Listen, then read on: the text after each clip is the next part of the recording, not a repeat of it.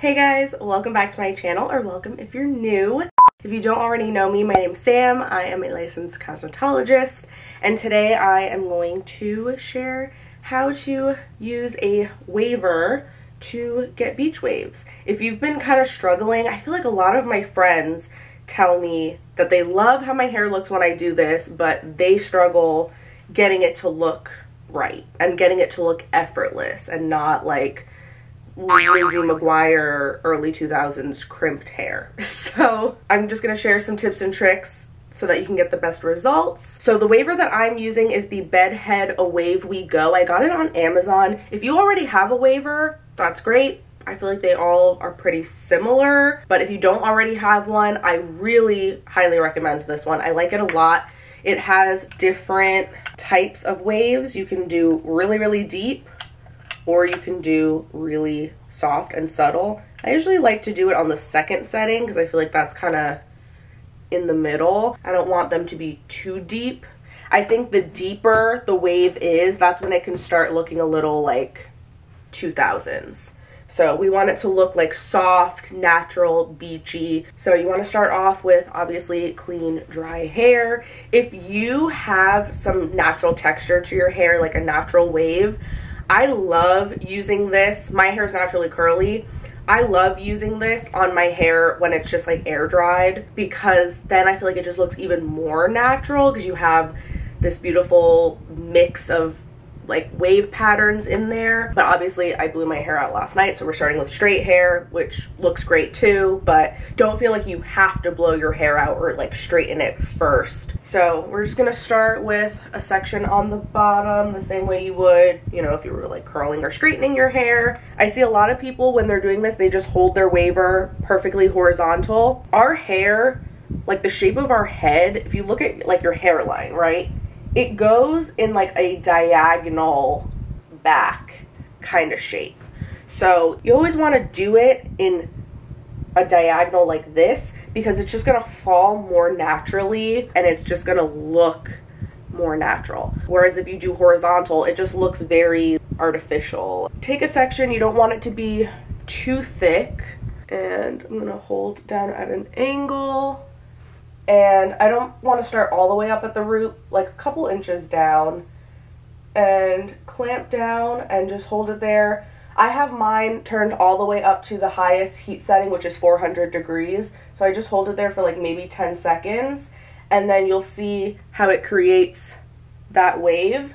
So you want to follow that pattern with the next section you do. Because then if you don't, you're going to have like these weird steps, like it's gonna look disconnected. So make sure you're flowing. So right here, see how it dips down there? That's where I ended the last curl.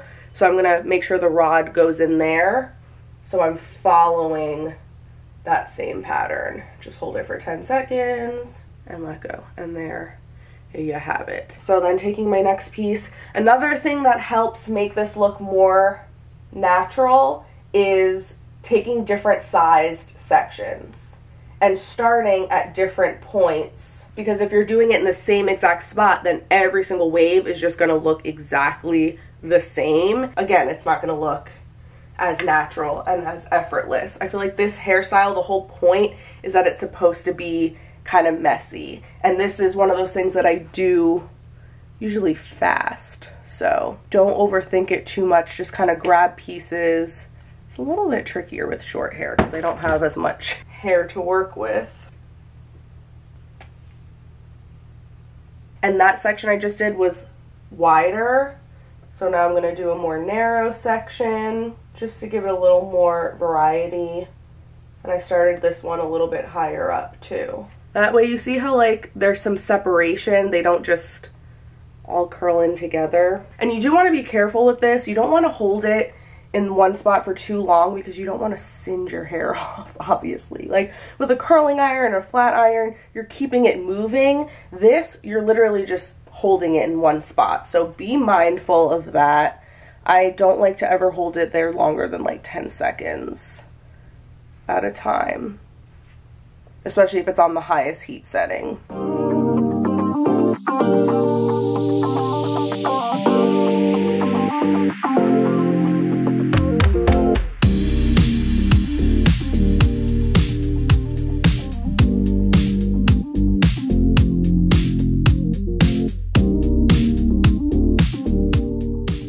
Also want to make sure in order to keep everything looking symmetrical, make sure that you're holding it in the same position. So you can see I have like the barrel side facing up on both sides no matter what. I'm not flipping around and doing it this way. I like for the bottom piece to curl up so in order to get that effect, I hold it this way. If I wanted it to curl under, I would flip it the other way. But whichever you prefer is fine. It doesn't really matter. I think it still looks good either way, but just make sure that whichever way you decide to do it, that you're holding it the same way on both sides of your head, because then otherwise it can look a little funny. And then when I get to the top section, I'm gonna just leave out the front pieces. So let me do the sides really quick.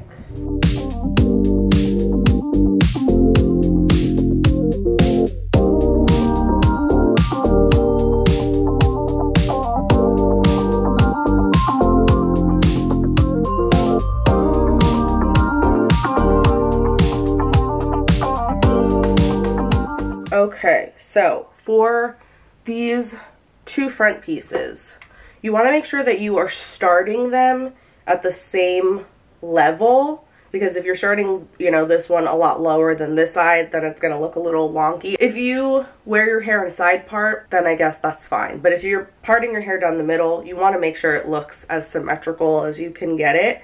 And I also don't like to clamp down as long on these front pieces because I just personally, this is just like what I have found I think looks best and looks the most natural is when these are like a little bit softer. So everywhere else I was holding down for 10 seconds at a time. Here I'm to just hold down for like five or six seconds at a time.